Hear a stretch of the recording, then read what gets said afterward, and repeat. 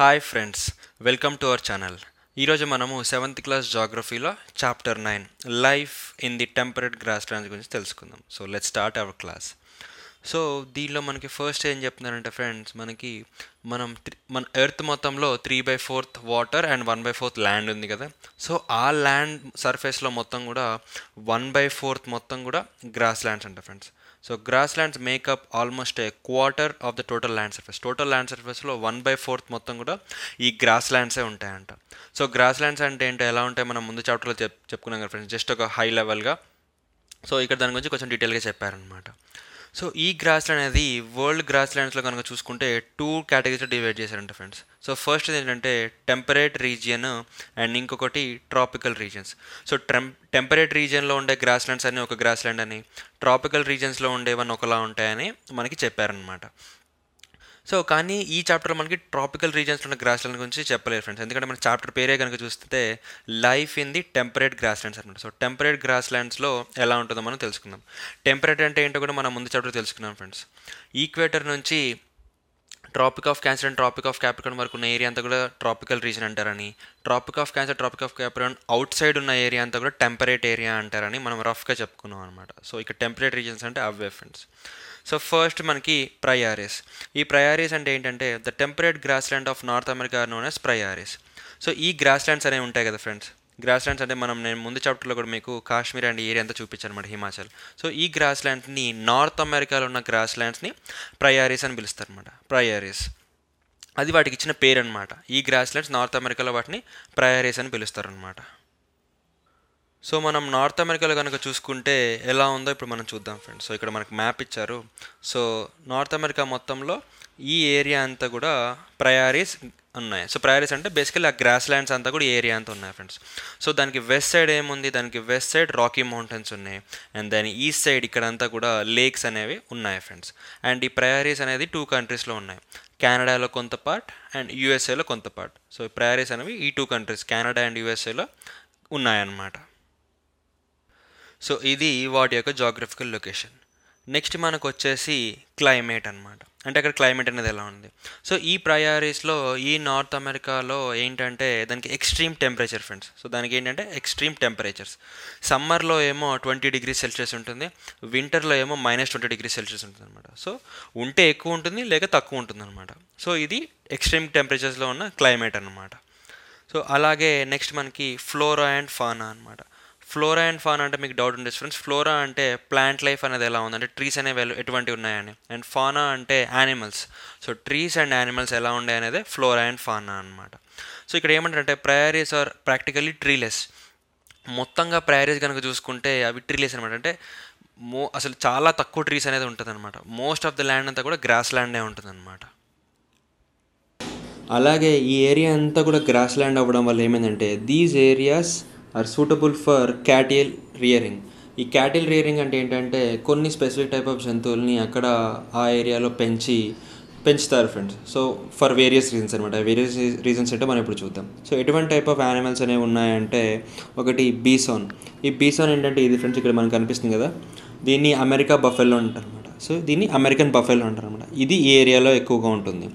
ఇది అక్కడ హంటింగ్కి గురయ్యి actually it nearly got extinct అనమాట అంటే దాన్ని హంటింగ్ అనేది చేస్తూ ఆల్మోస్ట్ ఎక్స్టెన్షన్ లెవెల్కి వెళ్ళిపోయిందంట ఫ్రెండ్స్ కానీ తర్వాత దాన్ని కొంచెం కేర్ అనేది తీసుకొని గవర్నమెంట్ అనేది ఇన్వాల్వ్ అవ్వడం వల్ల దాన్ని కొంచెం ప్రొటెక్టెడ్ స్పీషెస్గా దాన్ని కొంచెం కాపాడగలిగారు అనమాట సో అది కాపాడలేకపోతే దాన్ని ఇప్పటికైతే ఎక్స్టెంట్ అయిపోయి మనం అసలు ఈ భూప్రపంచంలో ఎక్కడ చూడలే చూడలేకపోయేవాళ్ళం అనమాట అలాగే ఈ ఏరియాలో ఈ ప్రయారీస్ ఏరియాలో కూడా ఎక్కువగా వీళ్ళు ఉంటారు ఫ్రెండ్స్ వీళ్ళే మన కౌబాయ్ మనం చాలా సినిమాల్లో చూస్తుంటాం మన హీరోస్ కూడా కౌబాయ్ లాగా ఉంటారు కదా. సో వీళ్ళు ఈ కౌబాయ్ విత్ హార్స్ వీళ్ళు ఈ గ్రాస్ ల్యాండ్ ఏరియా అంటే ఈ ప్రయారీస్ ఏరియా ఈ ఏరియాలో వీళ్ళు ఎక్కువగా ఉంటారంట ఫ్రెండ్స్ సో ఇది వాళ్ళ యొక్క ఫ్లోరా అండ్ ఫానా అనమాట నెక్స్ట్ వచ్చేసి పీపుల్ సో కౌబాయ్స్ గురించి మాట్లాడుతున్నాం కదా సో పీపుల్ పీపుల్ అనే వాళ్ళు ఎలా ఉన్నారంటే the people of this region are very hard working బాగా కష్టపడే తత్వం ఉన్న వాళ్ళంట ఫ్రెండ్స్ వీళ్ళందరూ. సో వీళ్ళు ఏం చేశారంటే టెక్నాలజీని అనేది యూస్ చేసుకొని చాలా చాలా బాగా డెవలప్ చేశారన్నమాట ఆ ఏరియా మొత్తాన్ని.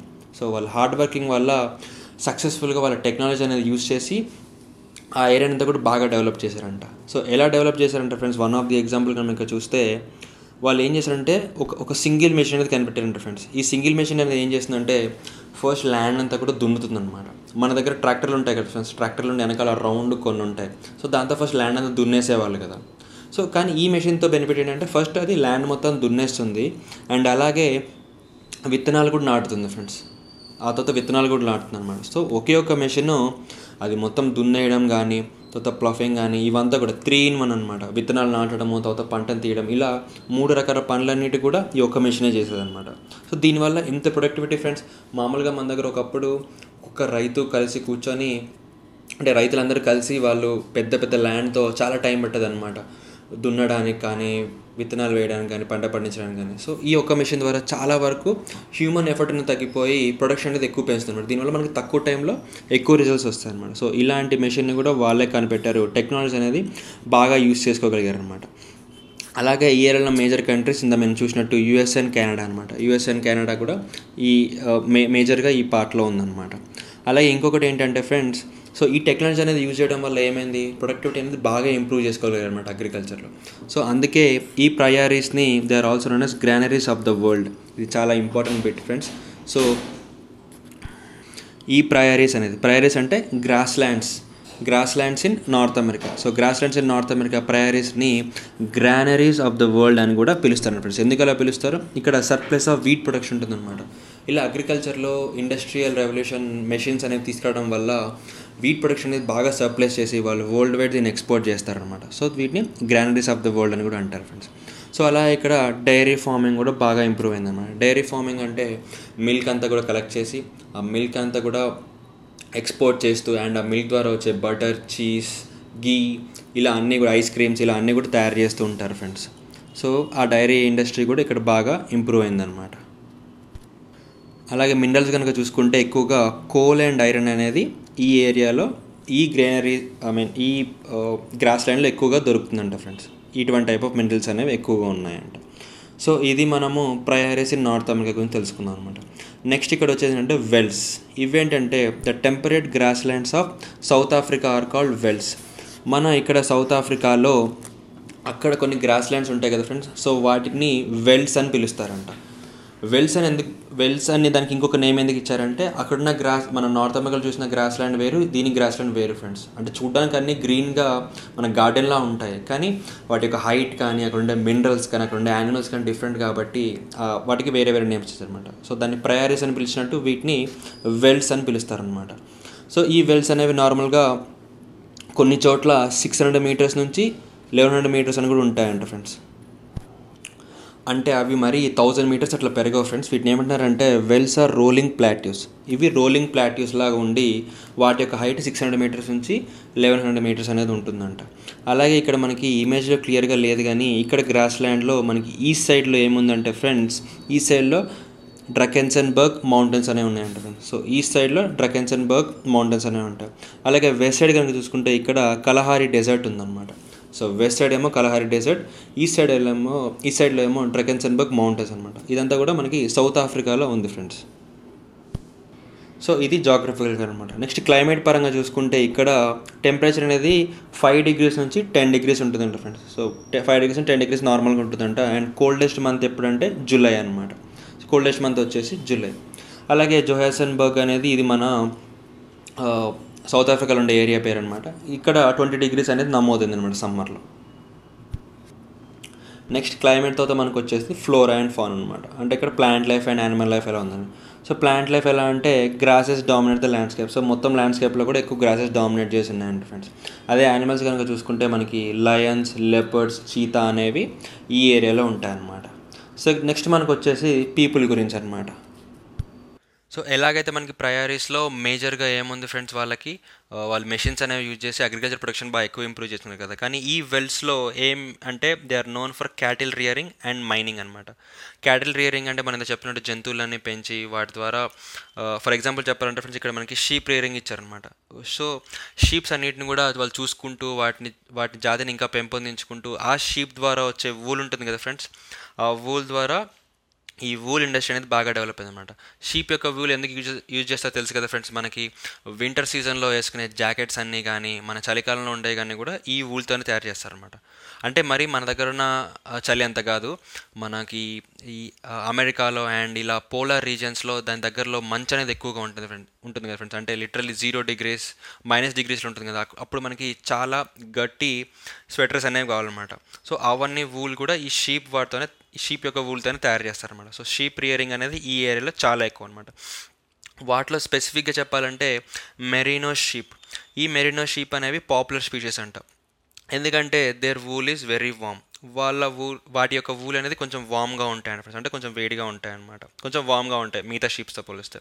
సో మెరీనో షీప్స్ అనేవి ఇక్కడ ఫేమస్ సో క్యాటిల్ రేడింగ్ మనం చెప్పుకున్నాం కదా ఫ్రెండ్స్ నెక్స్ట్ వచ్చేసి మైనింగ్ అనమాట ఇక్కడ మైనింగ్ ఎలా అంటే they have rich minerals of coal and iron అనమాట ఈ కోల్ అండ్ ఐరన్ అనేది ఎక్కువగా ఉండడం వల్ల ఇక్కడ ఐరన్ అండ్ స్టీల్ ఇండస్ట్రీ అనేది బాగా డెవలప్ అయిందంట ఫ్రెండ్స్ అండ్ ఇక్కడ ఇంకొక ఇంపార్టెంట్ బిట్ ఏంటంటే గోల్డ్ అండ్ డైమండ్ మైనింగ్స్ అనేవి ఉన్నాయన్నమాట. ఈ సౌత్ ఆఫ్రికాలో గోల్డ్ అండ్ డైమండ్ మైనింగ్ అనేది ఉంది ఫ్రెండ్స్ దాన్ని ఎంతగా ఎక్కువగా అంటే ఇక్కడ చెప్పాలంటే ఇందా మనం చెప్పుకున్నాం కదా ఫ్రెండ్స్ జోహాన్సన్ బర్గ్ అనే ఒక ఏరియా ఈ area it is known for being the gold capital of the world world మొత్తంలో ఉన్న గోల్డ్ క్యాపిటల్ అంటే అంటే ఏంటంటే ఆ ఏరియా జోహాన్సన్ బర్గ్ అని అంటారు friends so Johannesburg is the gold capital of the world ఇది కూడా ఒక బిట్టే అనమాట అండ్ అలాగే గోల్డ్కి ఎలాగైతే జోహాన్సన్బర్గ్ ఈ డైమండ్స్ కోసం కింబర్లీ అనే ఏరియా అనమాట సో కింబర్లీ అనే ప్రాంతం ఈ డైమండ్స్ కోసం ఫేమస్ అనమాట సో ఈ గోల్డ్ అండ్ డైమండ్ ఉండడం వల్లే కదా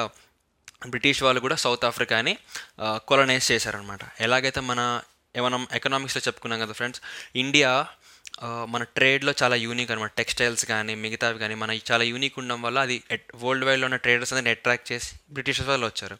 సో సౌత్ ఆఫ్రికాను కూడా బ్రిటిష్ వాళ్ళు పాలించారనమాట ఎందుకు బ్రిటిషర్స్ వాళ్ళు ఇక్కడికి వచ్చారంటే వాళ్ళు ఇక్కడ గోల్డ్ అండ్ డైమండ్ మైనింగ్ చూడడం వల్ల సో బ్రిటిష్ వాళ్ళు ఇక్కడికి వచ్చి దాన్ని రూల్ చేశారనమాట సో అది సౌత్ ఆఫ్రికా ఈ వెల్స్ ఏరియాలో ఉన్న మన మినరల్స్ అనేవి ఎలా ఉన్నాయి అండ్ పీపుల్ అనేది ఎలా బతుకుతున్నారు అనేది ఇక్కడ మనకు చెప్పారు ఫ్రెండ్స్ సో దీంతో మనం ఈ చాప్టర్ చాప్టర్ కంప్లీట్ చేసుకున్నాము. మీకు ఎటువంటి డౌట్స్ ఉన్నా కూడా కామెంట్ చేయండి. Thank you for listening to this class and జై హింద్